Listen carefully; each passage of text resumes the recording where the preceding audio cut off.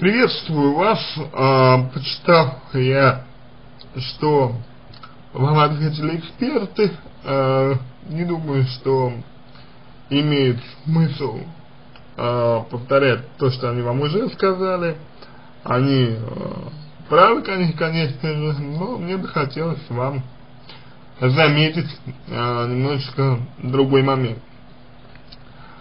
Э, лично мне в вашем э, вот, сообщении очень э, сильно, э, как бы это сказать, очень сильно э, услышалось или послышалось, если угодно, э, такое неудовлетворенное желание общаться э, с, с твоей дочерью, и э, очень э, серьезное, сильное переживание по поводу невозможности этого.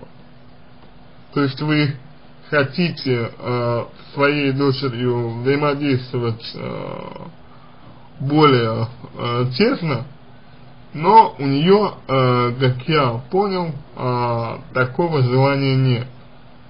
И из-за этого вы очень сильно переживаете. И из-за этого вам кажется, что она вас э, не любит, что она вас бросила, что вы ей не нужны и так далее. А вы знаете, вы, если э, своей дочери э, вот как-то навязывали ранее, то вы постарайтесь этого не делать, потому что э, молодые люди, а ваша дочь, я так думаю, молодой, молодая девушка, э, молодые люди очень не любят, когда, э, ну, как бы сказать, когда э, их э, постоянно дергают. Молодым людям кажется, что это нарушает их э, свободу. свободу. А молодым людям кажется, что это не дает им а, нормально, спокойно жить. Если вы а, не хотите, чтобы ваша дочь а, думала о вас именно так, то постарайтесь а, проявить немножечко терпения, постарайтесь проявить а, так и оставить ее в покое. Но если вдруг вы решите ей позвонить, если решите как-то заявить о себе, там, как-то дать ей понять, что вы интересуетесь ей и так далее, ага. Представьте это так, что вы просто интересуетесь, а, просто интересуетесь ее жизнью. Представьте, что вы интересуетесь тем, как у нее дела, как она живет и так далее. Поверьте, это э, существенно снизит э, ваше, ваши напря напряженные отношения, если таковые есть, с ней и поможет вам гораздо лучше налаживать э, с ней отношения. Потому что, ну, э, девушка, ваша э, дочь, она должна знать, что вы беспокоитесь именно о ней, а не э, пытаетесь сами э, за счет нее что-то получить. Дальше. Полагаю, что э, ваш вопрос э, с точки зрения психоанализа связан еще, к сожалению, и с тем, что вы не уверены в себе. То есть вы спрашиваете, за что ей больше не нужна, то есть э, вы не уверены в том, что э, вы нужны э, своей дочери. Это неуверенность в себе. Возникает, конечно же, э, вопрос – а откуда у вас эта неуверенность в себе? Почему она у вас появилась? Как давно она у вас? И что на нее э, повлияло? На эту самую неуверенность в себе. Вопрос очень важный, потому что от него зависит э, то, как вы позиционируете себя в отношениях.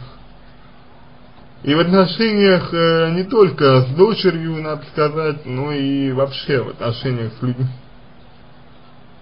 Если хотите, чтобы у вас э, в этом э, плане было все хорошо, то постарайтесь э, поработать над своей уверенностью в себе и над самодостаточностью.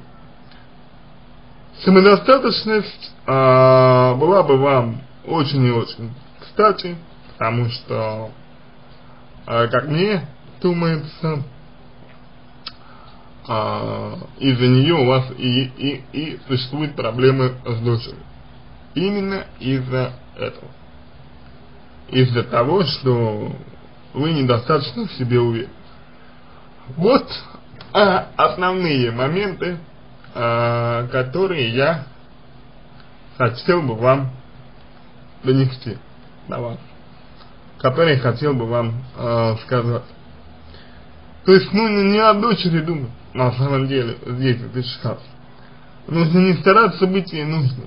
Нужно самой себе ага, придумывать смыслы жизни, саму себя занимать, самой жить полной жизнью, и а, тогда у вас не будет таких проблем.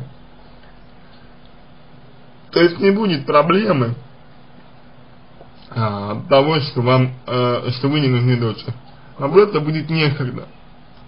А раз вам есть когда думать о том, нужны ли вы дочери или нет, значит вы а, свою жизнь пробуксовываете. Это нужно исправлять. Потому что дочь взрослая, у нее своя жизнь, она убеждена, что вы всегда будете с ней, и, конечно же, вас не ценит. Ну, а если, как вам сказали мои коллеги, имеет место быть проблемы в отношениях к дочери, конфликты разного рода, то вот с этим нужно разбираться. И только анализ этих конфликтов поможет вам выстроить четкую и адекватную стратегию поведения по отношению к дочери. Вот а, так, я думаю, можно ответить вам на ваш вопрос.